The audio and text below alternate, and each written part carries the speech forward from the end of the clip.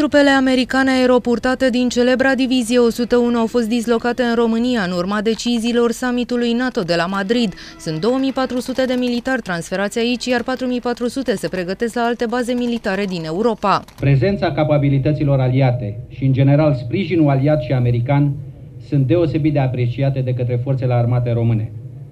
Trăim vremuri dificile pentru securitatea Europei și pentru pacea și stabilitatea internațională.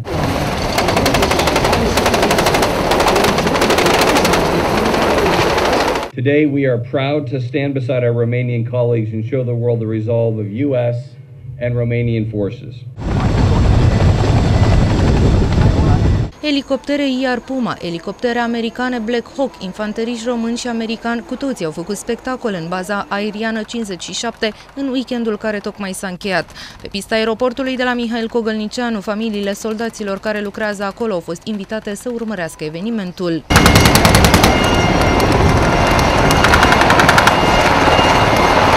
Este pentru prima dată când particip la așa ceva. Este ceva deosebit. Ne-au plăcut.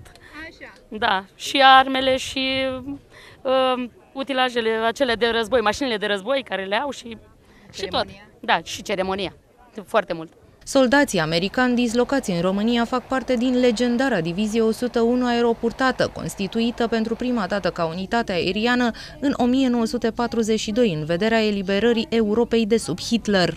The 101st is here with over 3,000 troops, 800 vehicles, 22 helicopters, and they're here to provide security, deterrence, uh, and defense to NATO's eastern flank, Divizia aeroportată americană va rămâne în România cel puțin un an, iar la nevoie vor prelungi staționarea lor la Mihail Cogălnicianu.